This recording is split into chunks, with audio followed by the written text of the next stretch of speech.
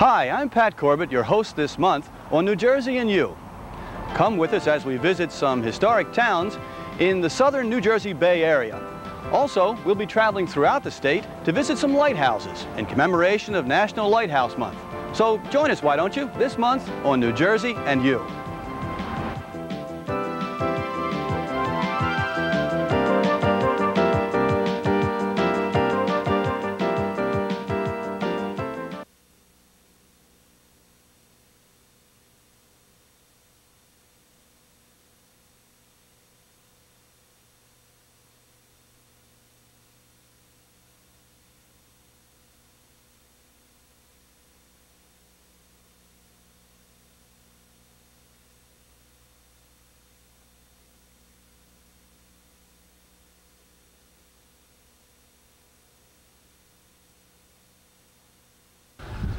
See the light, catch a bite, have a fight. This month on New Jersey and You.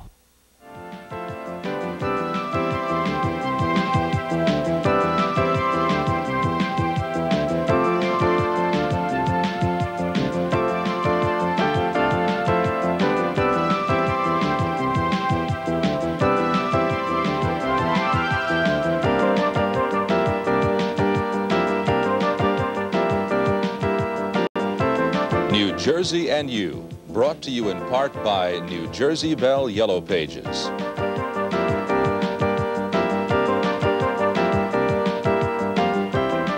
Hi, I'm Pat Corbett for Noreen Bodman, and I'll be your host this month on New Jersey and You, a show about the people, places, and events in New Jersey. Behind me is the Salem Oak, one of the most historic sites in the southern New Jersey Bay Area. But before we tell you about the Oak and the town of Salem, let's begin our journey over in Mauricetown. It's southeast of here on the Delaware Bay.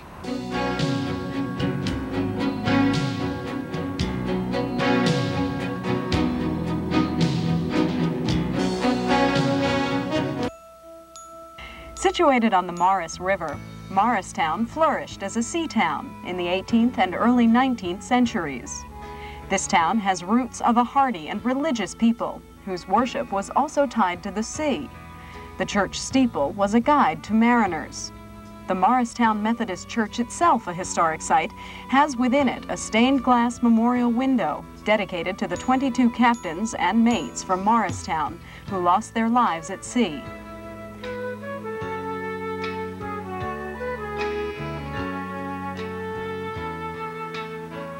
Other beautiful artwork is evident throughout the town, like this fine example of intricate wrought ironwork on this lovely home, or the fancy woodwork on the headquarters of the Mauricetown Historical Society.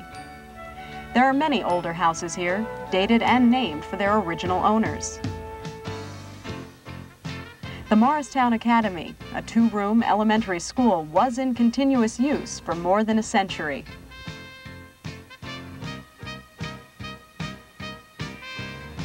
You'll also find a number of fine antique shops and specialty shops, as well as a cozy 19th century bed and breakfast.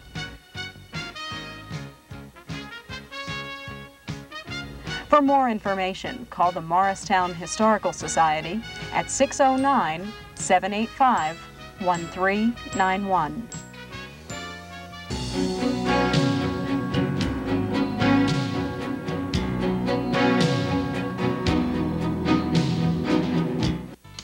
The Handy Soft Shell Crab Company is helping to rewrite the history of the Delaware Bay. Jeff Tawes explains Handy's influence on the crabbing heritage in Port Norris, New Jersey. So Handy built this complex in 1988, spring of 1988, and I have 800 of these shedding tanks. And what we do, we lease these tanks out to the watermen. And we also supply the boxes, the trays, everything they need to package the soft shell crab. And then they bring it to me, and of course on my loading dock, we buy the crabs, and from there we ship them around the world throughout the country. For the crabber to identify the difference between a shedder and a hard crab, he must notice the swimming paddle on the crab.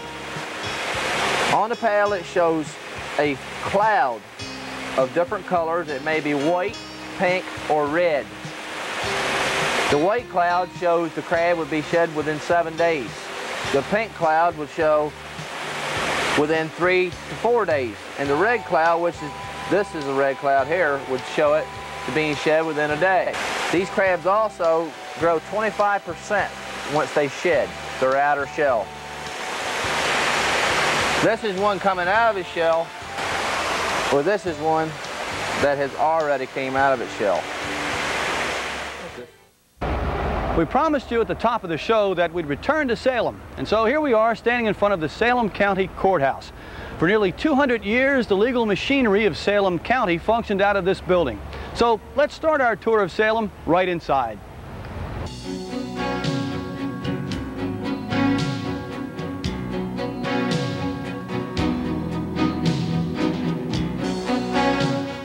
Portions of the old courthouse date back to 1735, but it was almost totally rebuilt in 1817.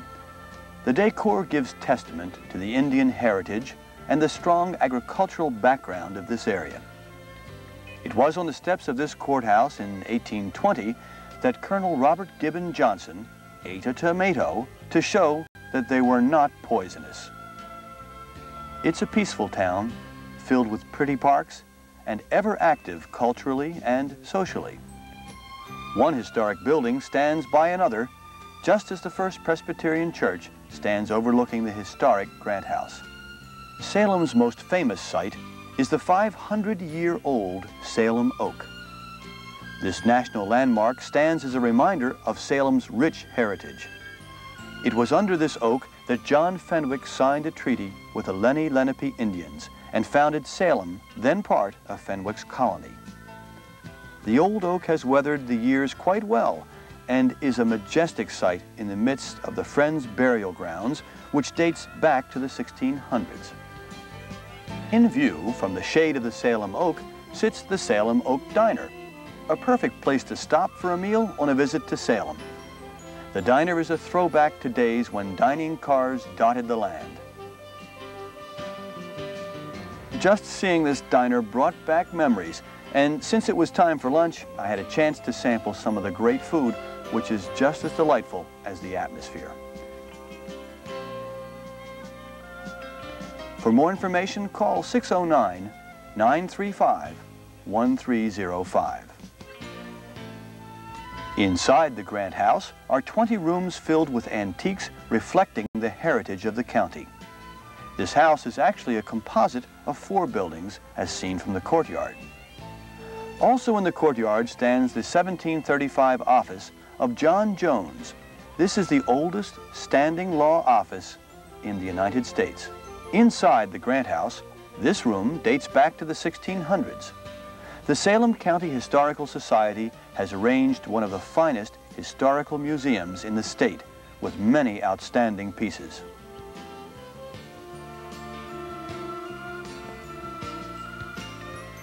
Down the street from the Grant House stands a tribute to New Sweden and the Swedish heritage of Salem County. This sod house is a copy of one built in 1638 and is made completely without nails. Call the Greater Salem Chamber of Commerce at 609-935-1415. When visiting the town of Salem, spend a night bathed in the heritage of the area. The George Abbott House, built in 1845, is a 10-bedroom plantation house standing on 53 beautiful acres. The property, known as Tide Mill Farm, sits on the waterfront in the midst of bountiful natural beauty. You'll find some leftover evidence from the days when this was a working farm and home to Abbott Dairies. The interior of the house has a beauty to match that on the outside. Tall ceilings and rich woodwork lead upstairs to large, comfortable bedrooms where you can have a night's peace before rising to a farm fresh breakfast. The dining room is filled with antiques passed down and preserved through the Abbott family. Your hosts, George and Emmeline Abbott, will be happy to share their family history and the history of Salem with you. Perhaps the most intriguing bit of Abbott family history lies beneath some of the floorboards in the kitchen. previously speculated upon, but only recently uncovered, this room is reported to be a safe room in the Underground Railroad. Slaves escaping to freedom would travel up the creek in the dark of night and be hidden and fed in this cramped, secretive place before being whisked further north.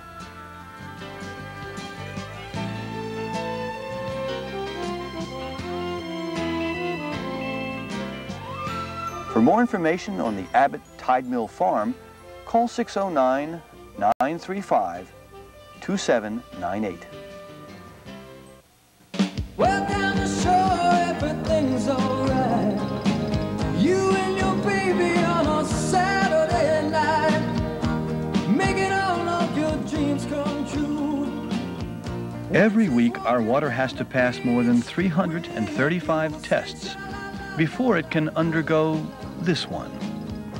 For water quality, call 1-800-648-SAND, 1-800-648-SAND. Millions of new Americans stood on the deck and cried when they first saw her. To them, she was proof that they were now free. New Jersey Governor Tom Kean asked you to come visit the lady in the harbor this summer. Ferry boats leave from Liberty State Park and Jersey City every hour. To get to Liberty State Park, just take exit 14B off the New Jersey Turnpike, and there's plenty of parking. Millions came halfway across the world to see her. Won't you come halfway across the bay? The Alexander Grant House is also home to the Salem County Historical Society. And coincidentally enough, over in Greenwich, the Cumberland County Historical Society has its home in the Gibbon House, which has family ties to this one.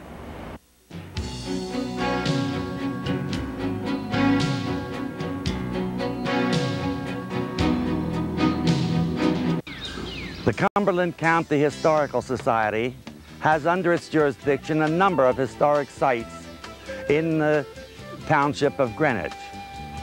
We're standing in front of what is perhaps the oldest agricultural building in the state of New Jersey, a Swedish granary built in the year of 1650. Also on this property is the Gibbon House, uh, which is unique in the fact that the brick is laid in the Flemish bond pattern in the United States uh, only in Cumberland and Salem counties are any number of these houses found. The portraits on the wall are those of Dr. Eli Bateman and his wife. Dr. Bateman is a descendant of Benjamin Rush, who was the founder of the School of Medicine at the University of Pennsylvania. Of particular interest in the kitchen is the size of the fireplace. The man of the family during the evening sat in the fireplace while the women continued to work. During the colonial period, there were no dining rooms. All meals were eaten in the kitchen. The man of the family sat in a chair at the head of the table, which was called the board. And that is the origin of the term chairman of the board. After the revolution, better class families had a dining room and the table is set with Chinese export. For further information, you may call area 609 455 4055. The Gibbon House is just the beginning of the heritage that is Greenwich. This area has numerous 18th century buildings worth visiting. Many, like the Old Stone Tavern, are private residences in wonderful condition at 200 years old. Across the street is the home of the Wood family, which sits near the Wood store. This is the first store in what was later to be the Wawa chain, decades later.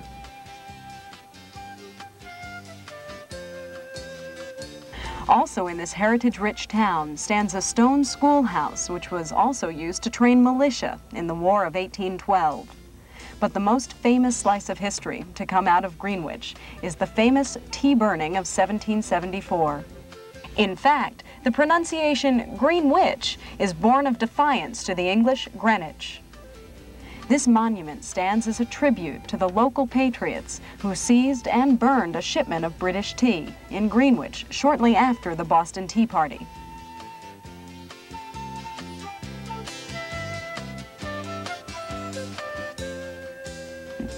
For more information on Greenwich, call the Greenwich Historical Society at 609 455 4055. The Delaware Bay is the site of some of the finest sport fishing in the region.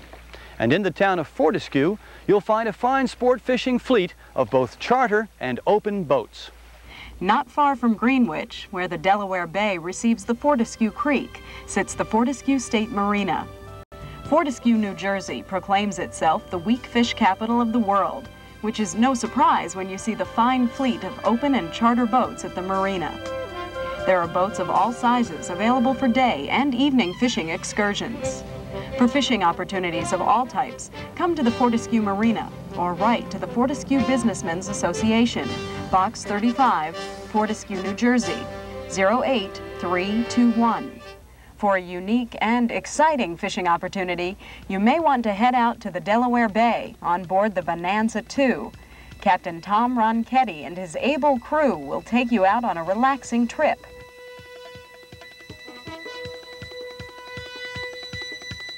Don't get too comfortable. The action picks up when the sharks bite. The Bonanza is fully equipped to help you find and land these predators of the deep. It's an exciting experience to land a shark, whether it be a small brown or a larger sand tiger.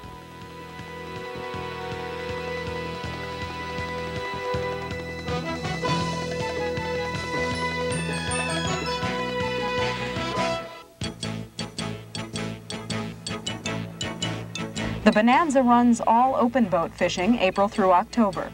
The evening shark fishing excursions are limited and reservations are required. For more info, call 609-447-4490. From the wide open expanses of the Delaware Bay, we take you now to preview an event in a more metropolitan setting. The city of Newark will once again open its arms to welcome people of all ethnic backgrounds on Saturday, September 23rd for the fifth annual Newark Festival of People. This multi-ethnic event features music, merchandise, and foods from many nations. The day's events, free to the public, will take place from noon to 7 p.m. at the Public Service Plaza and Military Park in downtown Newark. For more information, call 201-824-FEST. Every week in New Jersey, we conduct more than 335 tests on water along our shore. We have helicopter patrols monitoring our shoreline all summer for any signs of illegal dumping. And we enforce the most stringent ocean water quality standards in the nation. When it comes to keeping our shore clean and safe, there's really only one thing more anyone can do. For water quality, call 1-800-648-SAND, 1-800-648-SAND. Rebuilding the old New Jersey Division of Motor Vehicles took nearly three years of hard work, but today we've turned a corner.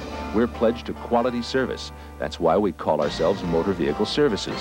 Our toll-free telephone numbers are saving motorists millions of dollars. And our regional service centers and model agencies allow drivers to transact more business closer to where they live or work. New Jersey Motor Vehicle Services. We start everything we do with the same question. How can we help?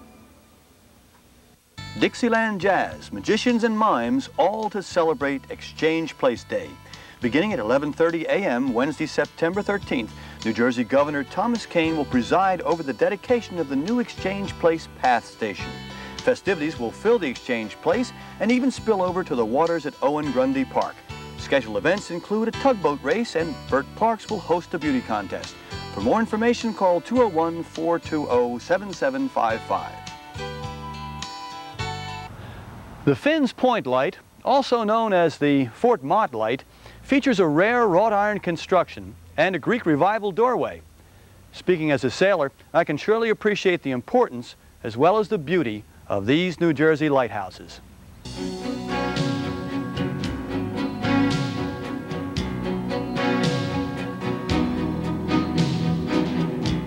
This iron monolith, known as the Fort Mott Range Light or Finns Point Rear Range Light, is unlike the rest of New Jersey's lights in its appearance. On the other end of our bay coast sits East Point Lighthouse. Located at the mouth of the Maurice River, this early 1800s structure paints a pretty picture as it looks over the bay.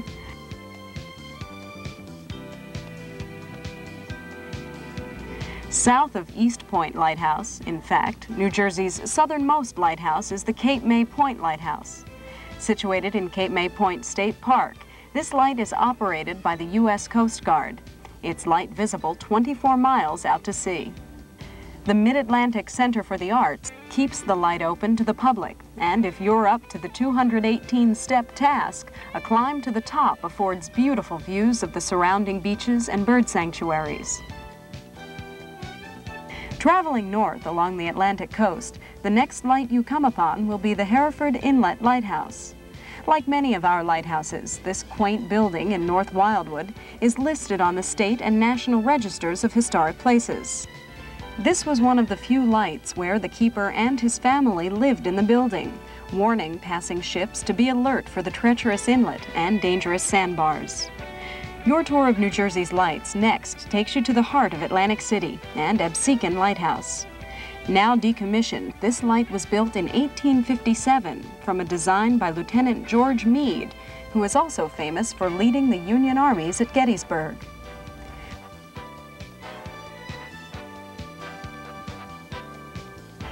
Another Meade design is perhaps our most well-known light, Barnegat Lighthouse. Old Barney, at the northern tip of Long Beach Island, is situated on a state park. It's said that Captain Kidd may have hidden here, and old gold coins occasionally wash up on beach. Although sometimes closed for repairs, the light is often open for a spiral climb, which will afford some beautiful views. Speaking of beautiful views, the Twin Lights of Navesink offer a panoramic vista of the Sandy Hook area from Highlands, New Jersey. The lights themselves are beautiful to look at. These beams were so bright they kept cows awake at night, and so blackout panels were installed in 1898. The site also offers a museum, slide and film shows, and the spectacular view from the medieval-style towers. One of the sites visible from the Twin Lights is our nation's oldest operating lighthouse, the Sandy Hook Lighthouse, in use since 1764. Although the interior is closed to the public, there's plenty to see and do when you visit this light, as it's situated on the grounds of Fort Hancock at Gateway National Recreation Area's Sandy Hook Unit. These are just a few of New Jersey's lighthouses. August is National Lighthouse Month, a perfect time to visit these and the rest of New Jersey's lights.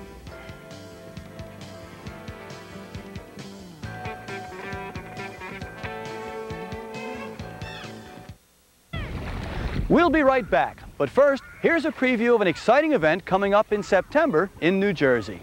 Clowns, clowns, clowns, and still more clowns. There'll be over 300 of them, that's right. Count them. Over 300 zany guys and gals will be clowning around on the boardwalk in Seaside Heights, New Jersey, September 15th, 16th, and 17th at Clown Fest 89. Yes, sir. Seaside Heights is playing host to clowns from all over the world, as well as vendors who will be selling clown shoes, costumes, props, wigs, makeup, balloons, and if that's not enough, we'll have seminars and classes on makeup, ballooning, the biz, magic, ventriloquism, puppetry, basic clowning, and of course, much, much more. If you're into clowns, ever dreamt of being one, or if you're already one, Seaside Heights is the place to be. Come on out and meet Vapo, Derby, Dipsy, Mr. Giggles, Choppers, Spike the Wonder Chicken, and all the rest of the gang at the 8th National Clown Festival on the Boardwalk in Seaside Heights, New Jersey, September 15th, 16th, and 17th. Ever wonder what could happen when you get hit in the eye with a ball? First, your cornea is lacerated, the lens dislocated, severe hemorrhaging occurs, the retina detached, and all vision may be lost. Unless you're wearing safety glasses. Don't play games with your eyes. A message from the National Society to Prevent Blindness. New Jersey vacations should bring back happy memories, not sad ones. That's why New Jersey has a mandatory seatbelt law, as well as one of the toughest drunk driving laws in the country. It's our way of trying to make sure when you see New Jersey, it won't be from a hospital bed or a jail cell.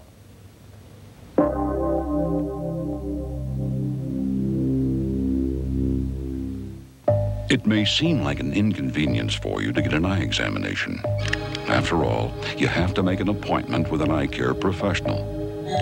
You have to take time out from your busy schedule. And you may have to pay for an examination. But if you feel that's an inconvenience, just imagine what it's like to be blind.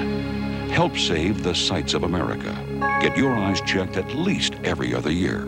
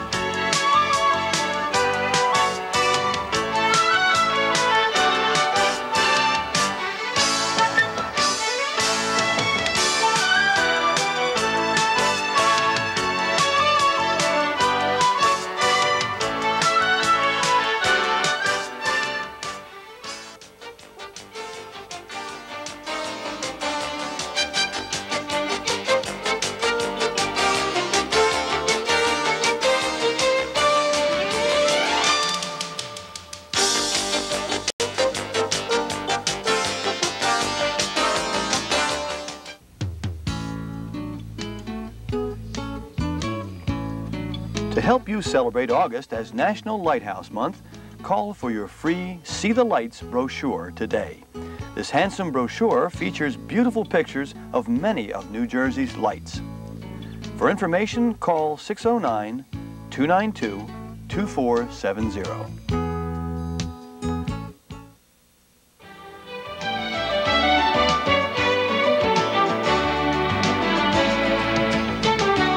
State of New Jersey Division of Travel and Tourism has produced two travel videos featuring things to do and places to go in New Jersey.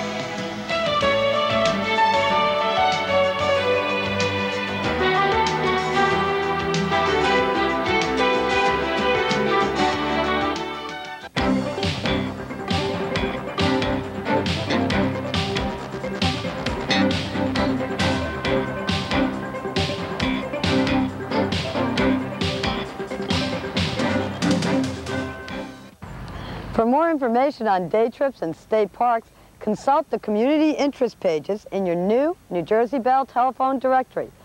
This handy resource tool can be found right in your very own home.